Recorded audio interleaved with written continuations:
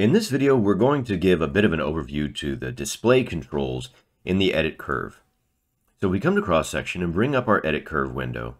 You'll notice that for this uh, model that we have, we already have an image set in the background. And this helps us illustrate some of these parameters that we can adjust. In a different video, we're going to talk about specifics of how to control the image background and how to match things up. For the purposes of this video, we're just looking at some of the features of the display tab.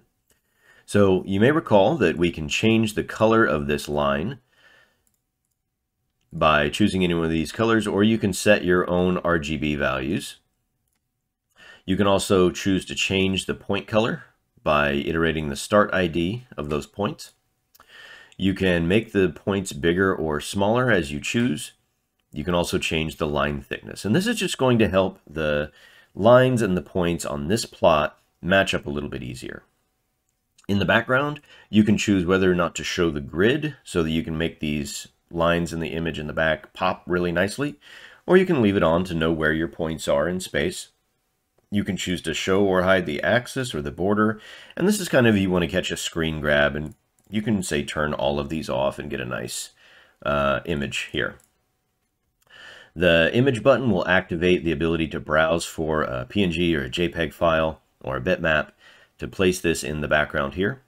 And then again, we're going to cover some of these uh, image settings later.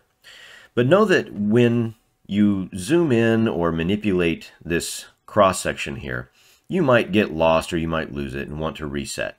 So if you click Reset Zoom and Pan, that's going to snap it back to its default settings. You can also choose to reset the background.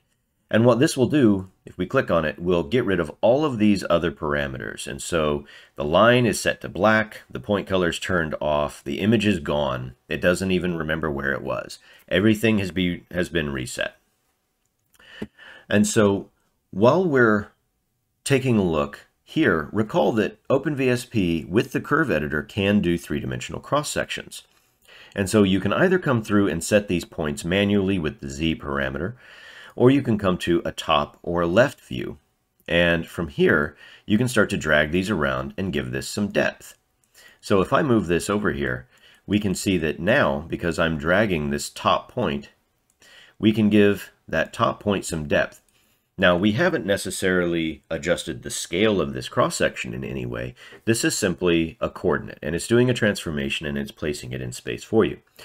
So this can get very complex. This was a simple linear demonstration of, say, a pentagon, where you can imagine that if we apply some corner rounding to these, we get into a bit more in-depth on the controls, that this can become very complex very fast. So again, in other videos, we're going to talk into greater detail of how to control these and some best practices. This just gives you a bit of an orientation into the display tab. And again, in a follow-up video, we'll talk about how to use images in the background.